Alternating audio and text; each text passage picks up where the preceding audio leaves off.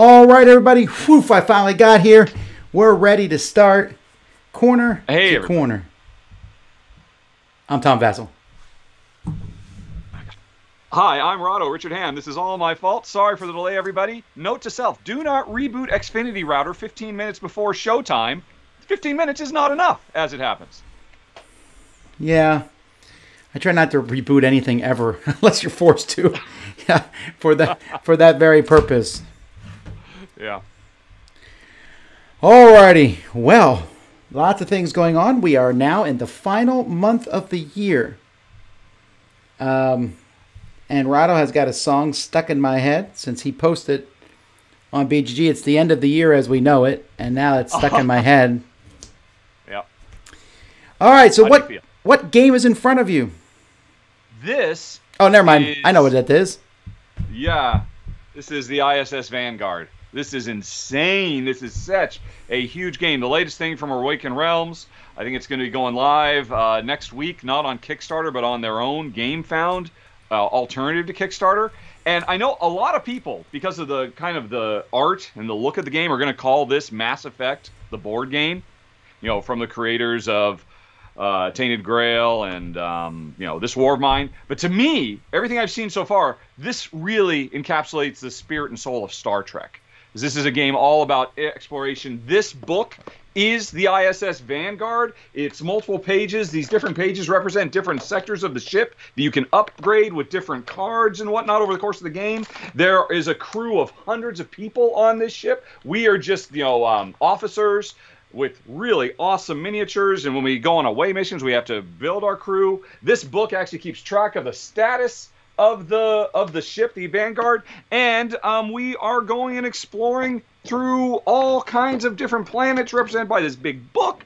We have different landing craft that can get outfitted in different ways. It comes with a storybook, or you can use the app to get professional voice acted story stuff. It's this is I think going to be their biggest production yet.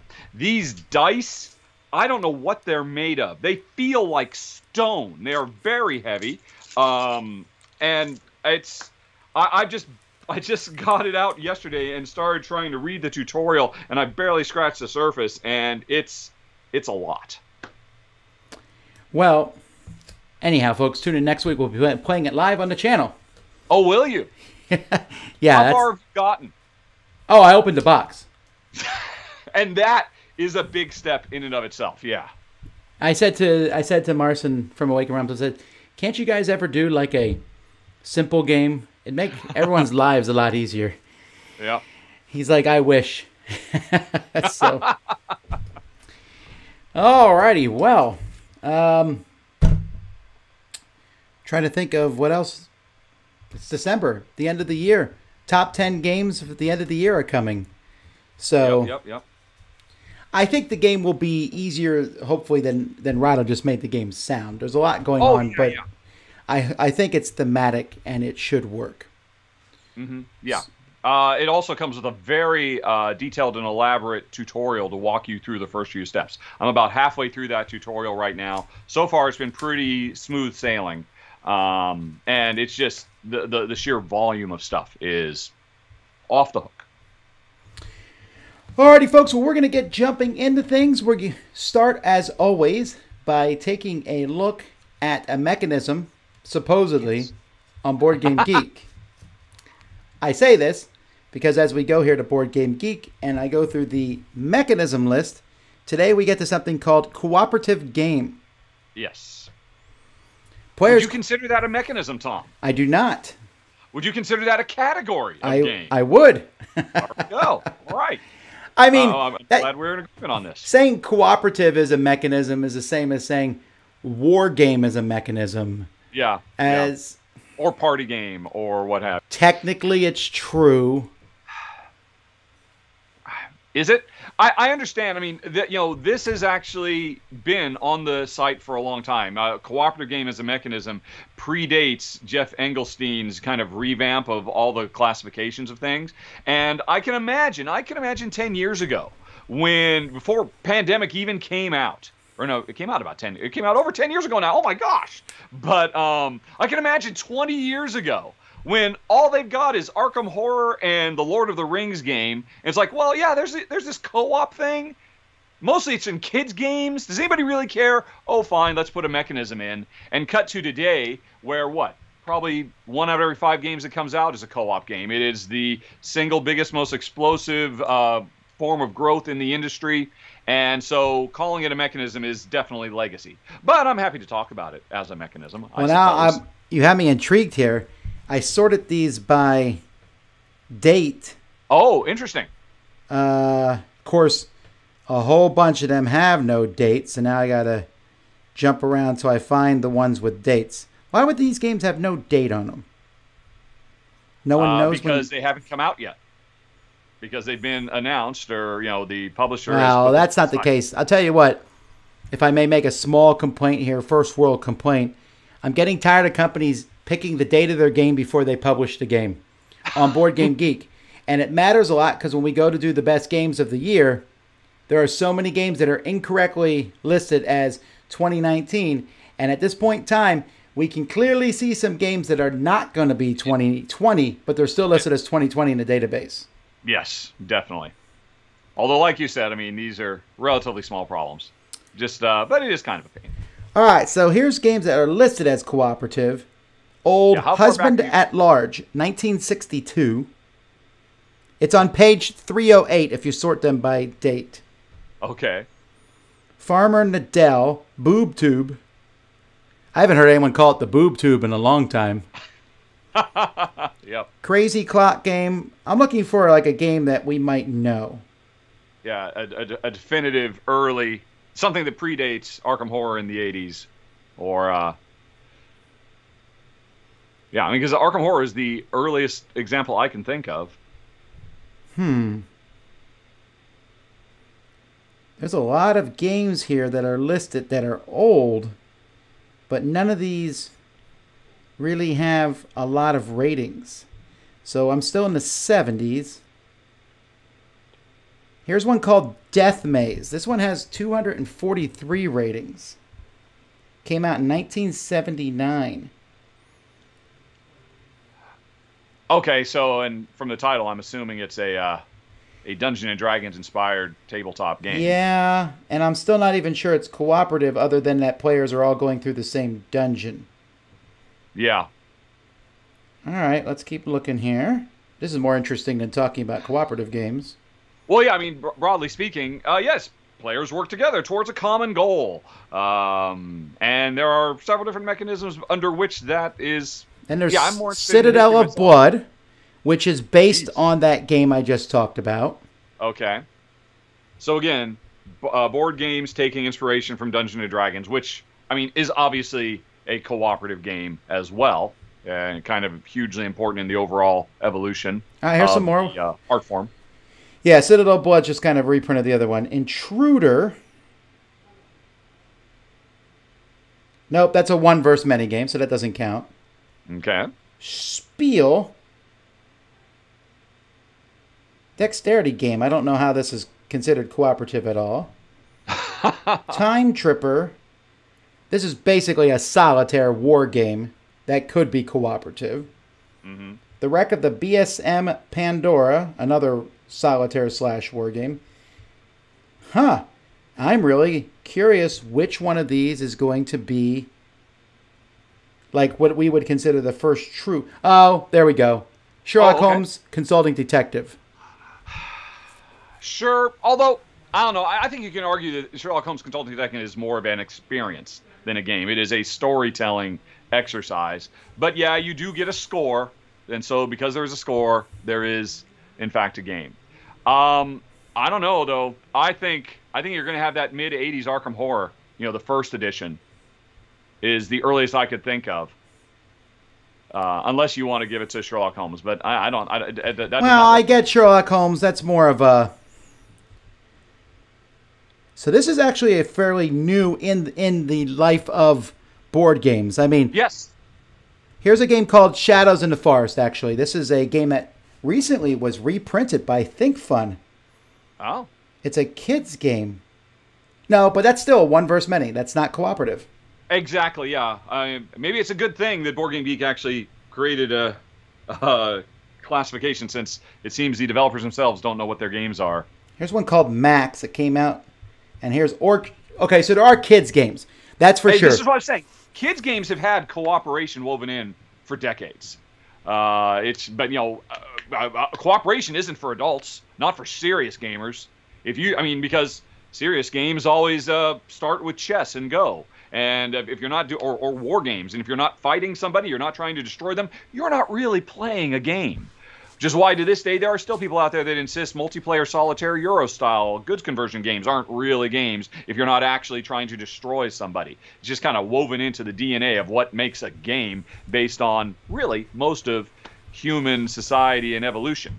But I mean, have you found anything big prior to I went and looked it up, 1987 Arkham Horror? I haven't. I just pulled it up. Arkham Horror.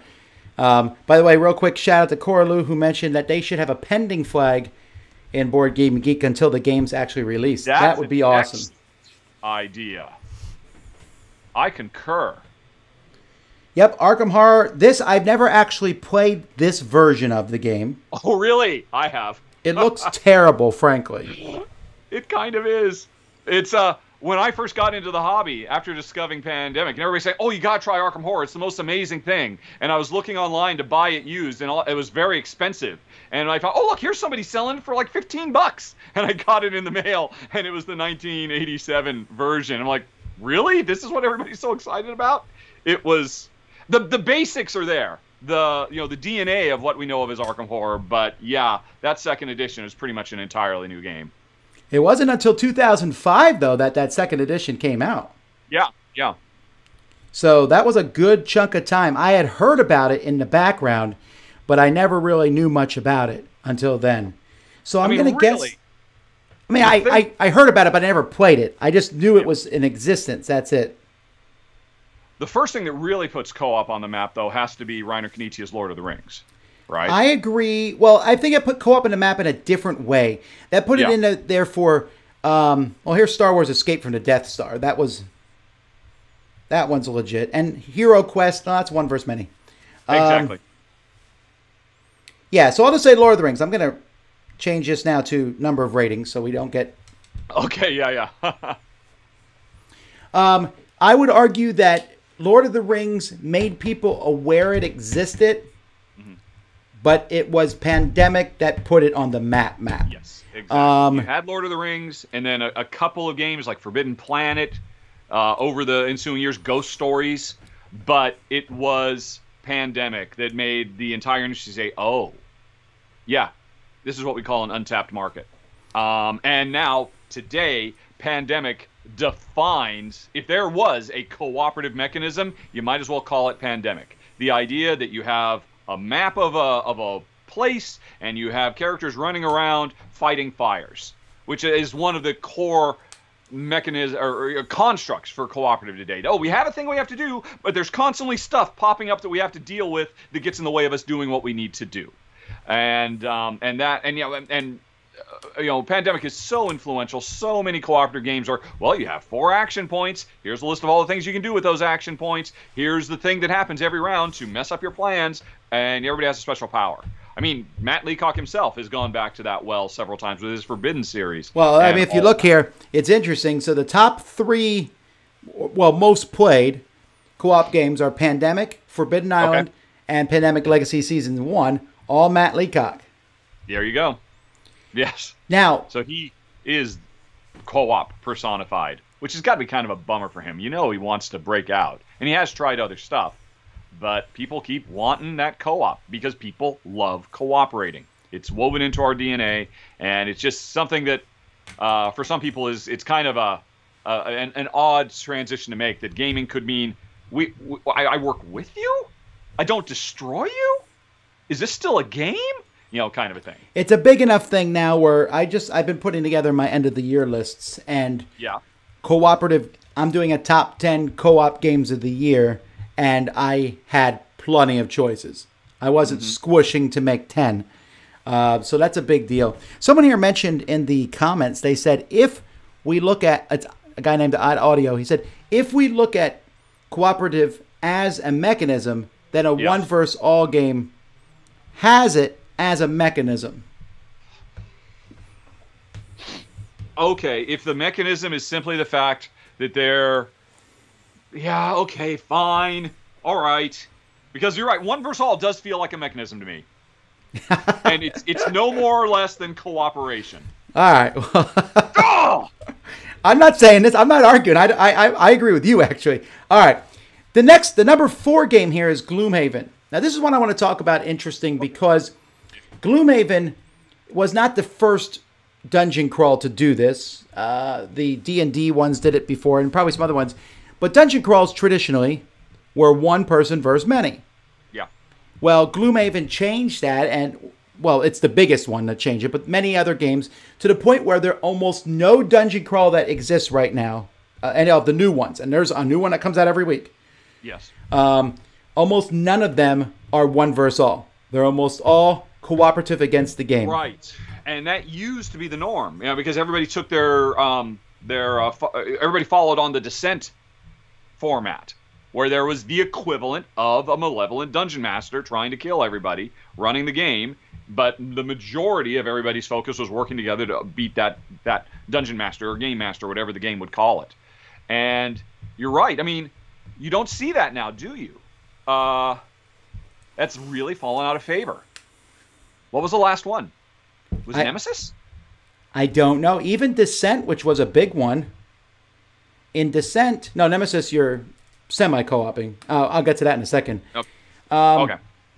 In, in Nemesis, you're all trying to get off the ship and you may be bad or good whatever. Um, Oh, okay. Oh, yeah, hidden traitor stuff. Right, right, right. But Descent, even the new Descent, which was just announced, is going to be cooperative. What? Oh, wow. Because of course they they're drilling down on the look. You don't have to have a human player playing the the bad guy. The app will do it for you. I will say this: as much as I like, I don't mind the fact that there's dungeon crawls that are cooperative. You know, it is what it is. I just, I, I don't know that we need to throw them all out. I do like the one versus many. It is fun to play against a human rather than a computer. In fact, I was talking today. One of the reasons I think Gloomhaven's successful is because when you go up against the monsters, it's not necessarily set what they'll do. Yes, they have a deck. Yeah. But you don't know which card's going to come out in that deck, as opposed to most of these games. This monster always moves five spaces towards the nearest hero and swings at him. That's just how they work. Um, and a human being might say, I'm going to go beat up on the wizard because that wizard's killing me. While a computer will go, I will go towards the weakest person. or better, a human being will start moving all of the monsters out of the room. And next, well, what's happening? What do we follow? Is it a trap? Right. And yeah, So, I mean, I get the reason. I know that cooperative games are more appealing because the a game with a dungeon master puts a lot of onus on that person. They usually need to know the rules better than everybody else. There's more upkeep for that person to do. Sometimes they have to play substandard because they're there to facilitate a good time, not to crush the opponent. Yeah, that is a problem with some of those games where it's far too balanced that oh, if you play correctly, where you are just supposed to create a problem for the players, the players will lose and have a miserable time. And that's a tough balancing act to get right. I'm curious. So Mansions of Madness, uh, I think, is really at the forefront of you know the the what is it the second edition of look replace the human control of the world with an app. How did you feel? Because I know you've played both. Uh, making that switch over and losing the human behind all the monsters moving and making decisions with an app doing it. In that particular game, I thought it was amazing because the human was essentially an app. They weren't making conscious choices, and there was so much room for error. In Mansion of Madness, the first edition, if I messed up on setup at all, I could ruin the game. Exactly. Uh, uh, three hours later, you find out, oh, the game is unfinishable because I forgot that in the second room this thing was supposed to be there. Yeah. And so. I didn't I didn't care about that. I'm more unhappy with the, the move by Descent, which is essentially becoming a, a Mansions of Madness game. Yes. I'm okay if they had just made a new game in the, that universe with that. But Descent was fun for me to be the dungeon master, to pick the bad guys that would Yeah. come in the room. And I feel like that's missing a bit. And I also felt like we don't need. We have Gloomhaven. We have. Again, there's so many of these dungeon crawlers out there. Yeah.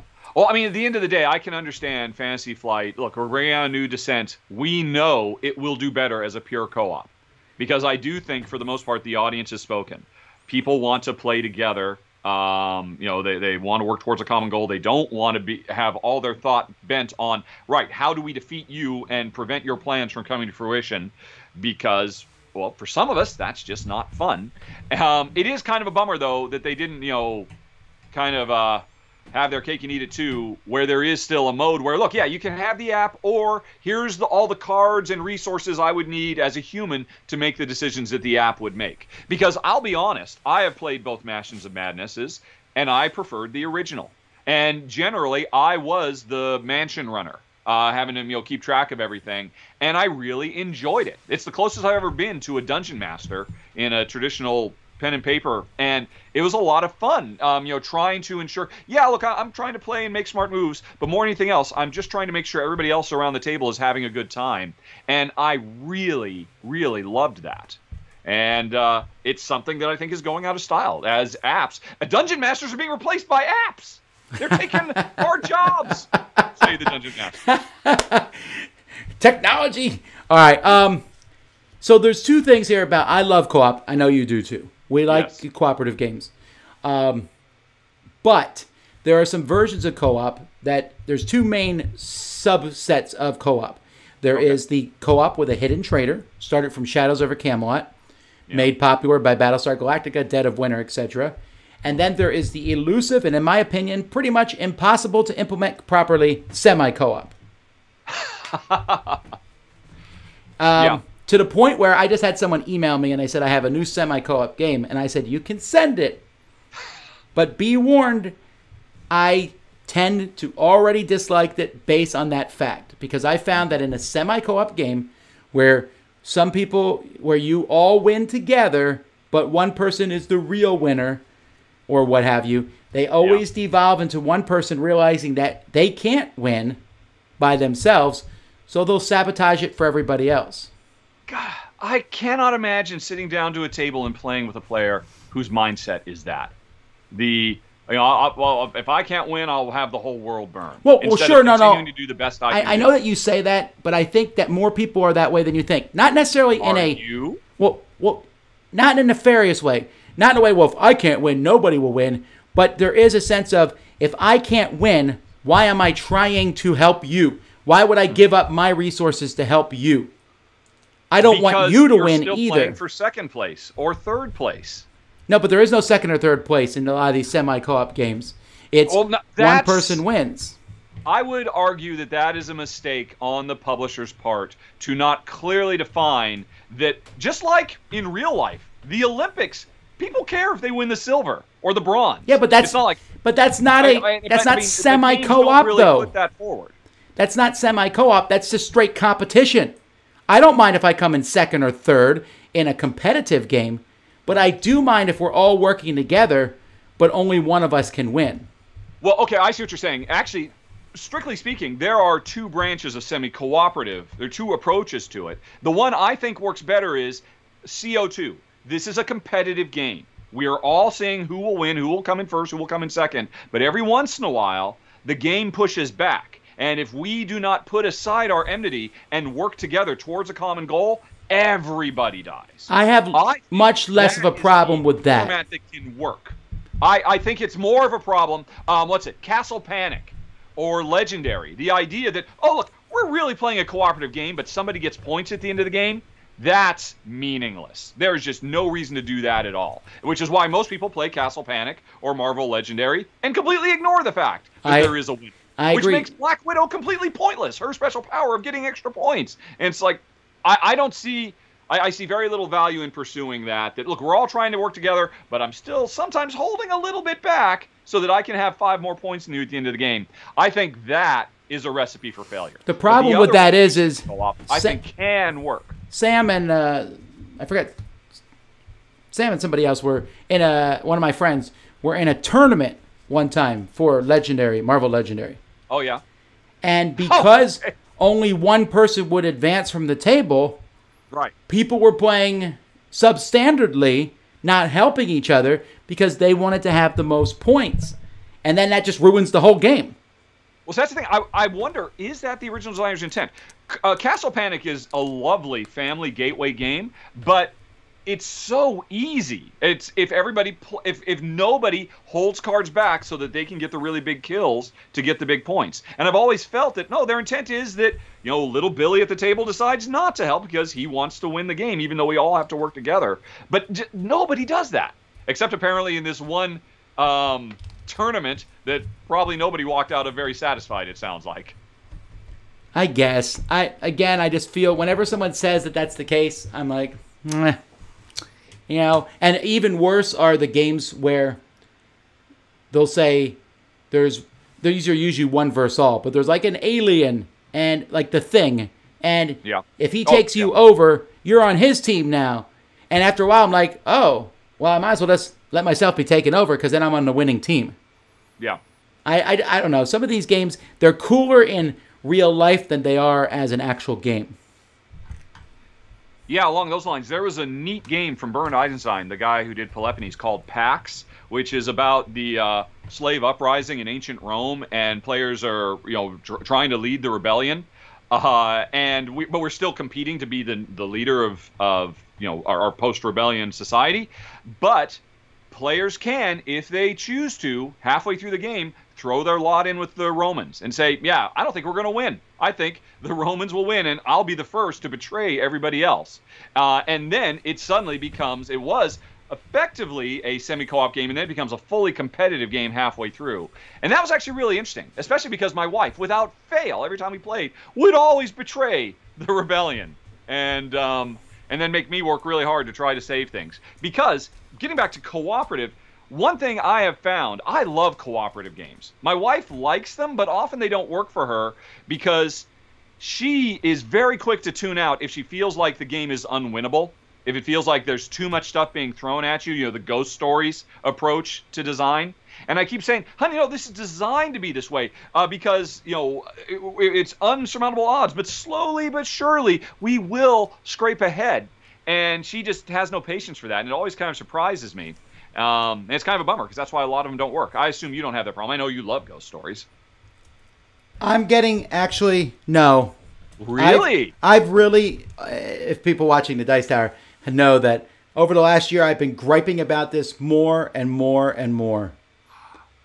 You know, Because yes, I remember you talking about this on Alboom a few weeks ago. I'm just sick of cooperative games being super hard out the gate, even in like mission one.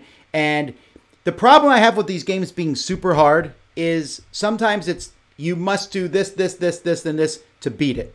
Yeah. And it's no longer, or sometimes you need to rely on luck to beat them. Mm-hmm. I love, I still don't understand the most successful cooperative game in the world right now is Pandemic. Pandemic is not that hard on the basic level yeah. but you can easily ramp up the hardness of it. You're like, oh, this is too easy. Not a problem. Put in all the epidemics. Yeah. Mhm. It's still going to be pretty hard. And every once in a while, this is actually one of those ways that we know. Um, we know that uh, someone's lying about pandemic because every once in a while on a thread on Reddit or Board Game Geek somewhere, someone will show up and go, "I'm playing pandemic on the hardest level, and we beat it every single time." You know, why is this game so easy? And then I'm always like, "You're playing it wrong." Yeah, because you've met you've messed up a rule. because you're not fail. beating it on the hard level every single time. You Yeah. know, um, Yeah.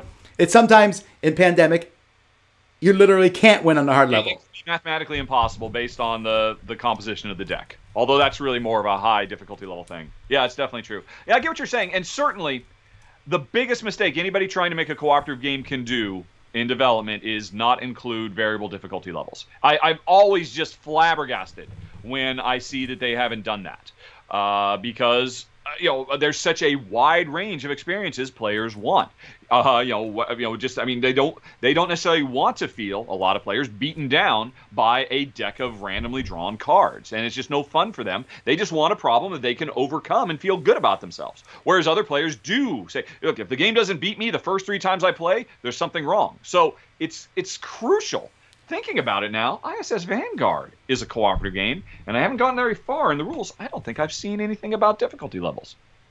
Hmm. Well, well, just wait and see. I'm sure. Yeah, yeah, yeah. Um, it might be at the end of the rules too. Sometimes that that's where the that's where the stuff is. That is almost always the case. Yes. But I think a lot of this has to do with video games. So, for example, there's video games that like Dark Souls and other video games which are incredibly difficult. But I get that, and I know there's people who enjoy that. But there's also a lot of video games out there that you can just kind of swing through them and have a good time. you know, and and they'll even say that. Like I just started playing a game, and basically they gave you difficulty level. One of them was story mode, and they're like, "You're gonna beat the monsters probably. You're just You going through no this to see what happens." You, you cannot die. Sure. Well, I mean, you can die, but you're kind of an idiot. I was actually so I'm playing the new Spider-Man game that just came Okay. out, the PlayStation Spider-Man game, and me and my daughter are playing the same game. She's playing on hard level. I'm playing on story mode, and when you watch the games, you would think we're playing on the same level. Uh, because I'm like, oh man, I almost died there, and she's like, me too. I'm like, oh good, we're the same level. Oh no, wait, we're not. but I don't care because that's the way I want to play it. I just wish more board games were like I- that. It's, it's it's always surprising to me when they don't recognize that. And um, yeah, I mean, but as we just discussed, cooperative games are still a relatively new thing in human history. As I mean, it's just so weird to think. You know, we've been around for tens, hundreds of thousands of years, and we're only just now starting to come up. Hey, maybe we can have fun working together instead of trying to crush each other. Maybe that's a new thing for us. So, no surprise that uh, there's still some baby steps being made. All right, here we go. Top five time.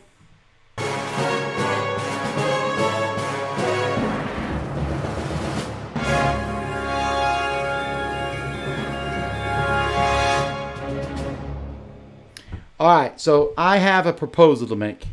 Oh, go, sir. I would like to change this to the top six list, Whoa. and I would like to make a new rule that we just both pick three and mash them together. That way, we're not vetoing the other person's dire love. Oh, I kind of loved it. I, Yes, I kind of liked calling you out as a monster for vetoing some of the greatest games of all time. folks, give us your topics. What do you want us to pick? I think I veto your anti-veto stance. Yeah, This is my only yeah. chance not to be a Care Bear. Oh wow, people were ready this time. Well, we, we were five minutes late to the show, so what else did they have to talk about other than what top five should it be? Or top six? Hmm.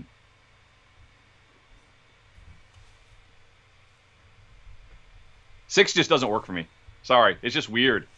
Top five, top ten. That's the way it's got to be. Well, if you're tied to numerical systems, that's fine. I kind of am. Weren't you a math teacher? I would think you were as well. Eh, I got over it. Yeah, you got burned out. Uh, man, I'm like skipping most of these because they're either meh or they're too big or I'm about to do them. Folks, don't ask us to do any top five of the year stuff.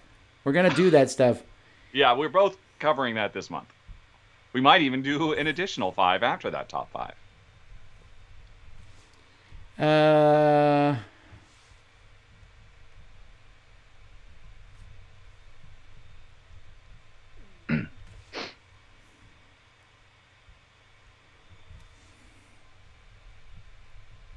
I don't think Rahdo will do that one, but I'll put it on here anyway. Well, now I'm going to seek it out and do it. Well, no, I wrote it on the list here. I'm just saying. All right.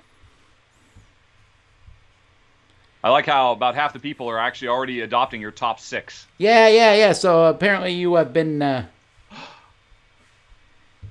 My first veto is to veto top six. that's fine.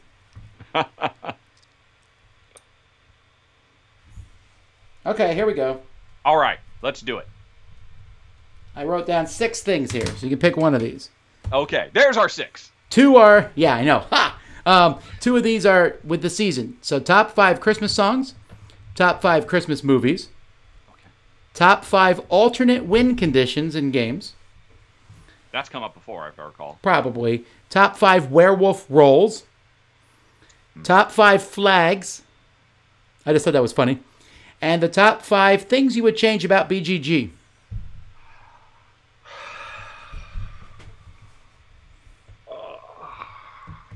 Oh man. Okay. You know what? Whoever is after those alternate win conditions, they have been on that for months. It feels like. Am I wrong? I, feel don't like know. I, I, I, I, I, I next we're, we're going to be back in two weeks, folks. We'll do a Christmassy holiday one then.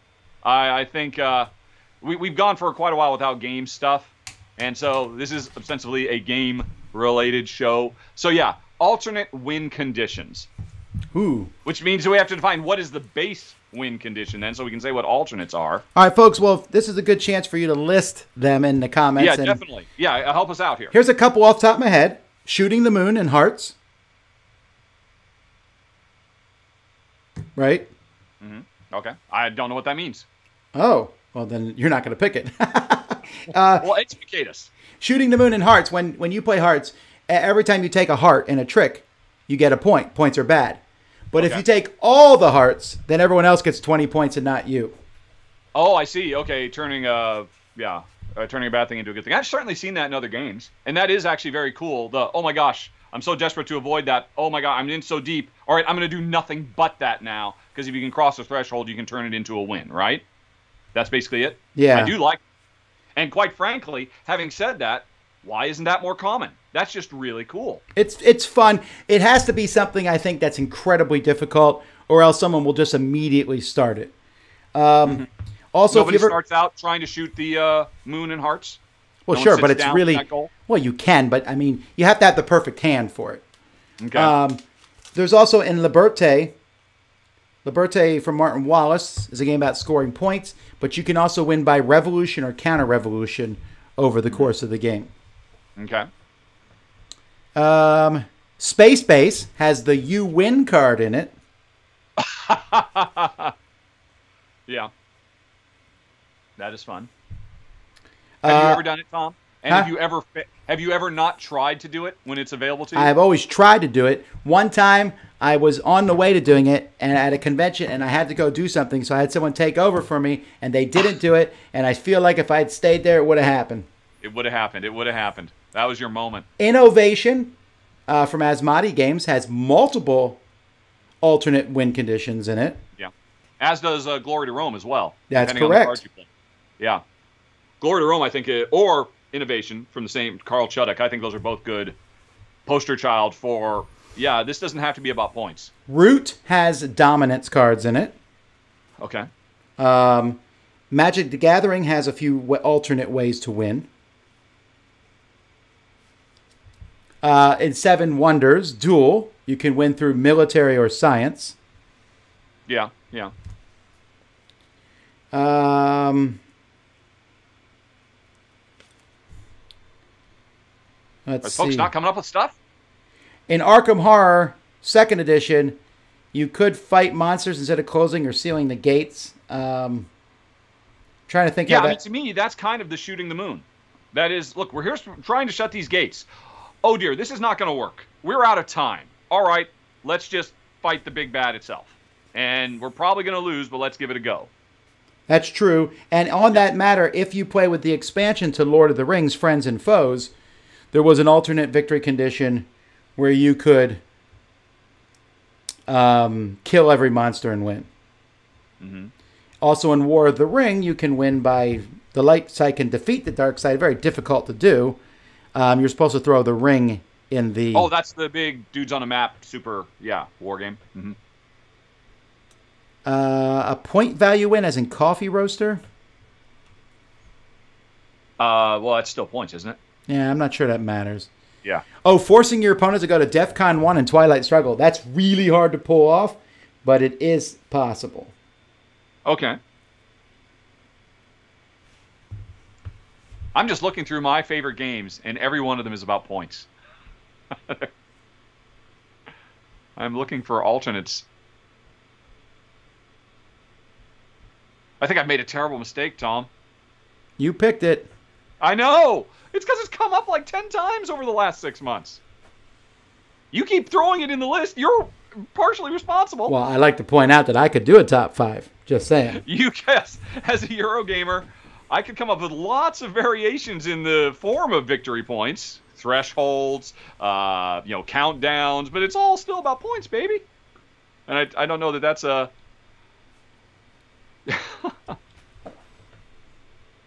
Dune has an alternate victory condition where the ben Je- Bene Gesserit can predict who will win. Oh, and if no, that person cool. wins on that round, they win instead. Cosmic Encounter has alternate victory conditions. Sure. Um, would you like to retract and pick one of the other topics? We've discussed this one. Do you think we have a solid five? Yeah, but it wouldn't be you wouldn't be part of it, so you you probably have to. I can appreciate them intellectually. and I have played Arkham Horror all the way through a couple of times. The original and the second edition.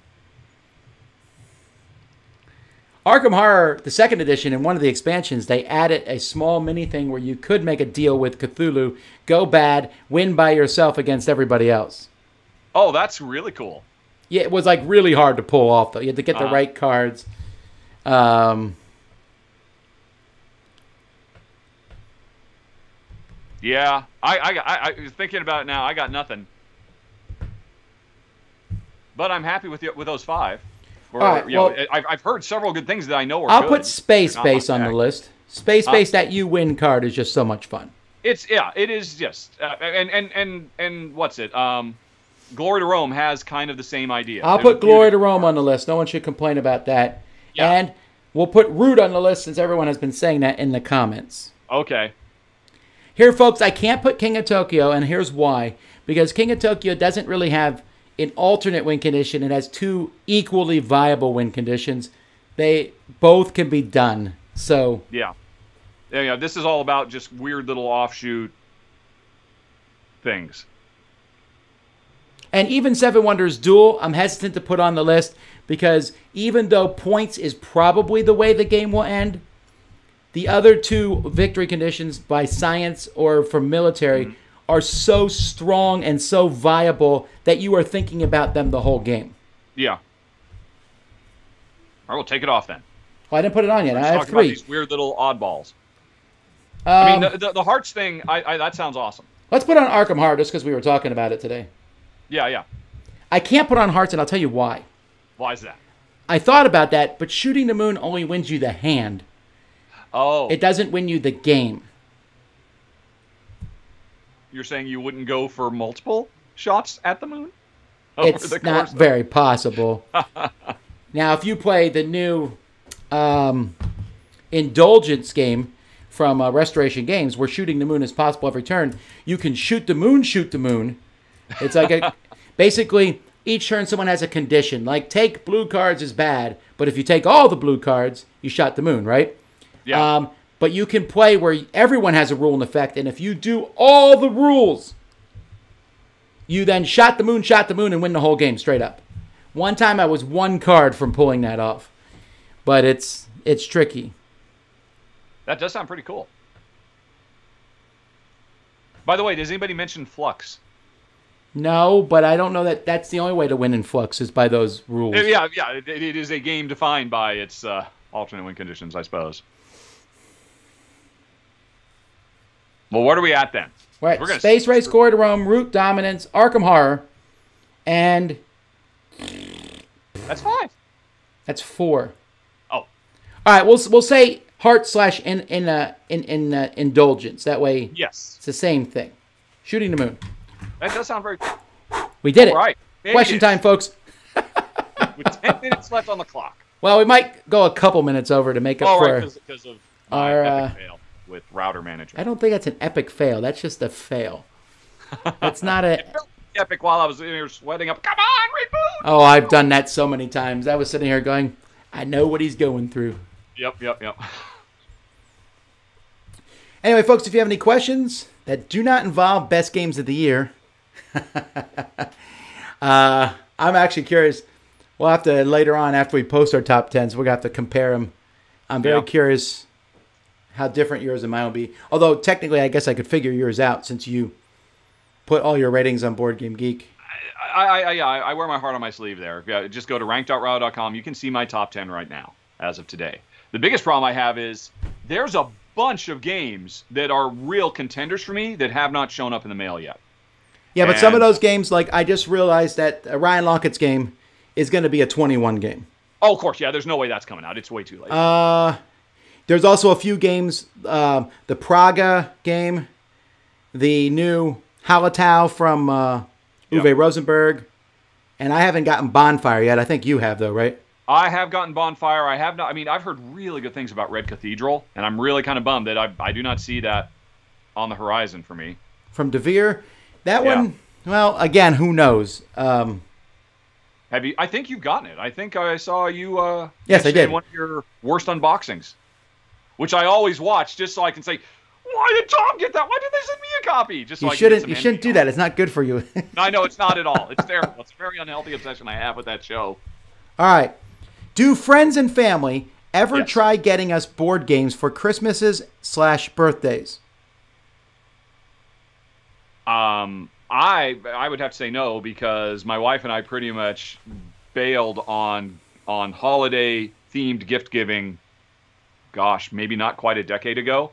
Uh, there came a time when my when Jen said, "You know what? You are just really really hard to shop for." I'm like, "What? It's so easy." Um, but for her, it was very very difficult. And she said, "Do we really need to keep doing this every year?"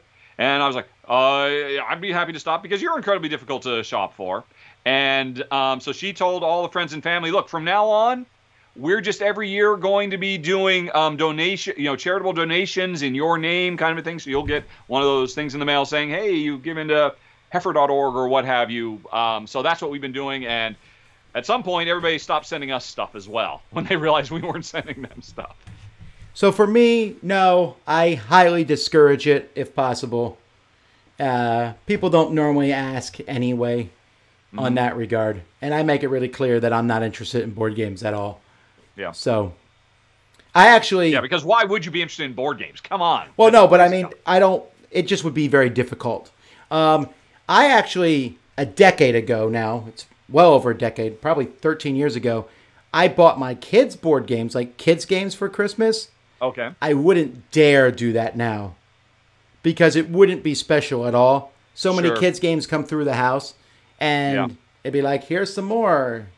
You know, But you understand, I actually bought these ones. yeah, I know. Yeah, whatever, Dad. Well, you must be the easiest person in the world to Christmas shop for. Just do a Google search for funny tie and just done. You know, you would think so, but my kids never actually seem to think of that. Although I did get a tie, I think, last year. I'm not sure. Um, are you more tired, says William, of seeing roll and write games or polyomino games? I'm not tired of either. I don't understand fatigue of something that you really love. Uh, I, I I just played. Fine, uh, I'll be the Grinch. rights last and I enjoyed them. And yeah, we played some polyominoes. I want more polyomino rolling rights while we're at it. I am I have No. no fatigue. I actually think I prefer polyomino games to be polyominoes. Drawing the polyominoes into space is not as fun for me. Uh, polyomino games, I'll tell you what though, that New York Zoo kind of reinvigorated me a bit. Really? I really liked it. Well, yeah, it's, it's a great example of it's it's a pure polyomino game, but then layering something else on top, the whole animal husbandry thing. So, but I didn't hear. So I know you have fatigue for both. Which one? It, wh- what will make you groan less if somebody shows up and saying, "Hey, Tom, do you want to play this?" Oh, new polyomino for sure. Or this new? It'd be you'd rather polyomino. Polyomino, if only because, and I know this is cynical of me, I feel like it's a lot easier for a publisher to put very little effort into a roll and write. That is true. There's there are very few game designs that are easier to put together with a decent level of competence than a roll and write. And it's difficult to do something really special in that space. Um, what are your Christmas Eve dinners? Ooh, Christmas Eve. I know what my Christmas Day dinner is. I haven't even thought about Christmas Eve. Normally, I allow my children on Christmas Eve to go wild when it comes to sweets. Mm. So, like, I'm like, Christmas cookies, eat them all. Here's some candy, eat it. Okay, guys, calm down. Yeah, That's yeah, normally how the night goes. tonight. I'm like, all right, you know what? You don't need to eat all the candy. Yeah. I, I we we have no special holiday tradition along those lines at all. I am sorry to say. Richard says, I'm still waiting for Etherfields. I hope that would be a 2020 game. Good news, I just got my shipping notice for Etherfields.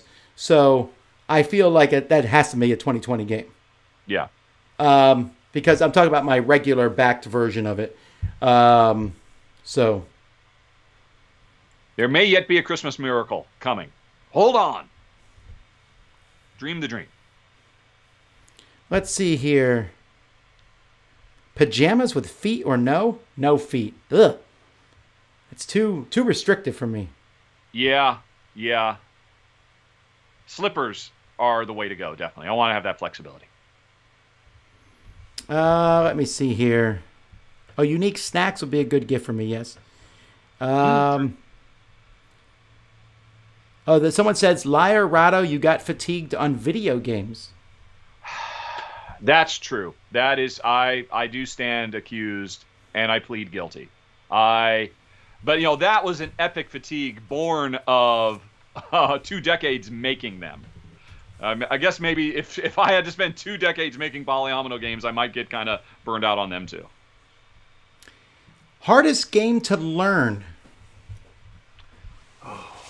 Hardest game to learn, just in general. The I'm, I'm trying to think. CO2 was pretty hard. I didn't really have a hard time with CO2. I mean, I, I know a lot of people had hard, uh, problems with the rule book, but I mean, you just had to look at it thematically, and the problem was the rule book didn't put anything in terms of theme, so that one wasn't too terribly tough. Bridge, um, hardest game to learn. I mean, I, I, I hate to bring it up. I know it's always a sore subject, but for me, I mean, there, there's no comp- competition. Myth almost destroyed me. Oh, yeah, that, that's legit. Legit, I will accept myth. That's good. That's a good answer. All right. Did the new edition of Cleopatra and the Society of Architects go over the top? Oh, with its production? Yeah. I mean, the original one was over the top. I'm going to go out here and say yes. I thought the oh. original one was over the top, but I'll tell you what, the original one I could at least throw in the box. The new one oh. you have to oh. put in carefully without breaking it, and it's almost a detriment to playing it. I like it, but I suspect when I put it in the Dice Tower library, I bet you very few people are going to pull it off the shelf because of the intimidation factor. Oh wow, that's too bad. I mean, I, I I have a feel for the publisher. I mean, because they feel like, oh, we've got to take it to the next level because it was already so far next level a decade ago. But yeah, I guess there's too much of a good thing. Let me see here. Why don't games include animated flipbooks to help explain rules? Animated flipbooks? What does that mean? That would mean literally. I mean, I would be a little handmade cartoon. yeah, okay, that's not. I don't think that's. Here comes the piece. You know, uh, uh, what I don't understand is why more publishers are not flocking to um, what's it that Dized format. I thought that was phenomenal, and I it's really kind of it, it's it's disheartening to see that it has not gotten. I mean, I, it bugs me that ISS Vanguard didn't come with a Dized module that would teach me how to play that game because that would work so much better than anything else I have seen. I learned how to play Blood Rage with Dized. Yes, but Dized uh, is extremely difficult job. to program. Really difficult. Well, yes, but um, I think um, Blood Rage is the most complicated thing they put in there. The developers do all that work than me having to do that work quite oh, frankly. I don't argue on that. Yeah. um, what's the best rule book you've read? Oh. Okay, so there's a. I want to say Gloomhaven Jaws of the Lion. I really, really like how they teach you the game. Oh yeah, through scenarios. That, that's masterclass in tutorial of a of a really complex game. That's a good. That's a good suggestion. Um, I'm trying to. Uh, let's see. There's one I covered just a couple months ago that you know did, did a standard good job on you know teaching the rules of this relatively complex game, but did an amazing job of integrating theme and setting and you know the, the history of the game that really elevated it so much. I'm trying to remember what it is. I, I just I, I made a big deal at the time that I want to see more games doing this. Uh, oh, Shogun no Katana hasn't come out yet. It's uh, I think its Kickstarter ended last month. It was month. Kickstarter, yeah. Yeah, but it's a it's a very it's a pretty straightforward worker placement game. But throughout, there's constantly they're not just throwing it in for for uh, you know fluff and flavor, but they throw in the real historical elements that they are trying to emulate. Uh, and they put it in such a way that it makes it easier to learn the game because it makes it easier for you to put yourself in that place, in that historical thing, when you understand the real history, and then the kind of relatively abstract puzzle of sliding tiles around just comes together more. And I was blown away by that, and I will shout uh, mega kudos to them and every other developer who tries to do historical themed Euros should definitely learn from that. All right, James says, is there a bo- book or TV series you would like to see a board game of that doesn't have one already? So while you're thinking, here's what I would say, and this is I, I really mean to be apolitical here, but I would uh-huh. say The West Wing, and I'll tell you why. I think it would be fun to run a little government that had issues thrown at it, and I would try to pick non-controversial issues, you know, different things, and you have to deal with these while appeasing Congress and or whatever, you know, like walking this fine balance line. Special interests. I would like it to be not like I said, I don't want it to be super controversial, but I also wouldn't want it to be like, uh, they decided to paint the penny green. You know, I don't want it to be that yeah. nonsensical either. But like That's a really good idea. Like there's a lot Iraq is attacking Iran. What yeah. do you do?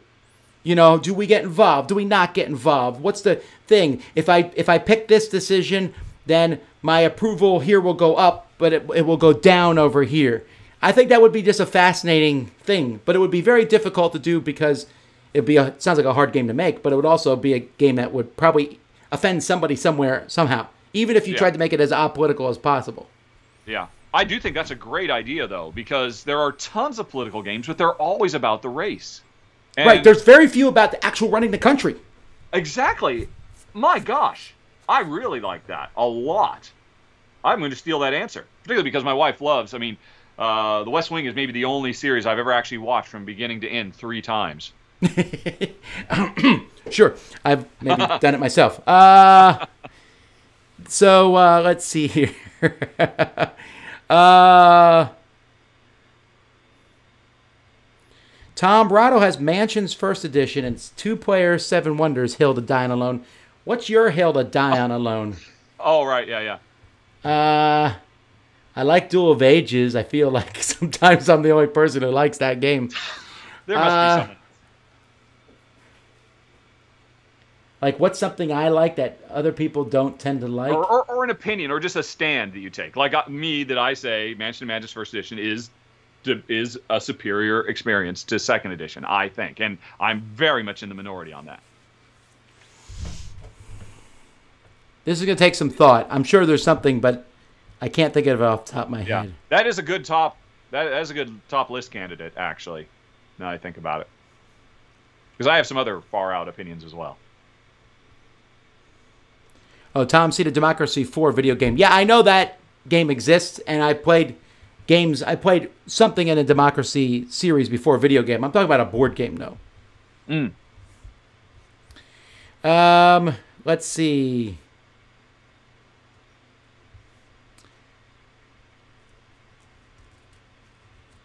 Uh, people are talking about West Wing now. Um, you got a bunch of pre-cooked chicken, a full pantry. What dish do you make? Chicken That's, taco salad. Sounds good. Have My you seen Queen's Gambit yet? Yeah. Which one? Have you seen Queen's Gambit, the Netflix no, series not. on chess? I will see before the year is out. I, I just it's the list is too long. Have you? Yeah, I have. Um, okay.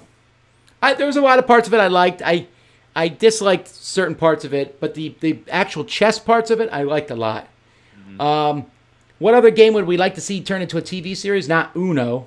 Um, they're doing a new uh, TV uh, game show based on Uno. I would like to see maybe a TV show based on diplomacy. I think that'd be fascinating to watch. I would feel less stressed about it when it's not me. um, I don't know. I've just I've played uh, Agricola so much, and I do. I I always. It's so rare that you see historical reenactment shows that are about the common people of that time. They're always about the royalty and you know Jane Austen type stuff. I've always find it more interesting. Well, the, the, the, the people living their everyday lives. I, I, I would think that'd be really interesting. Uh, you know, a Germanic family in the uh, Dark Ages trying to get by. I, I think there'd be really interesting stuff there. All right, folks. Well, that that this time, now we'll finish up here. We'll be back Yes. in two weeks. We'll be online um, on Rahdo's channel, so we'll see you then. I think. Uh, stay tuned. We may not be back in two weeks. Um, well, the Winter Spectacular is happening on my channel at that point in time, so I'm not even sure if I can cross over. We might be back in. We'll, we'll, we'll announce it wherever oh, we're on. now I feel bad not picking a holiday theme top five. Uh, maybe we'll do it the week bef- the week of Christmas if you're you- you're not doing anything anyway. You said so, like the No, I twenty. mean, Christmas is just another day to me. So uh, yeah, probably in three weeks on Rahdo's channel then. Okay. Alrighty, folks. Until next time, I'm Tom Vasel. I'm Rado. Have fun gaming.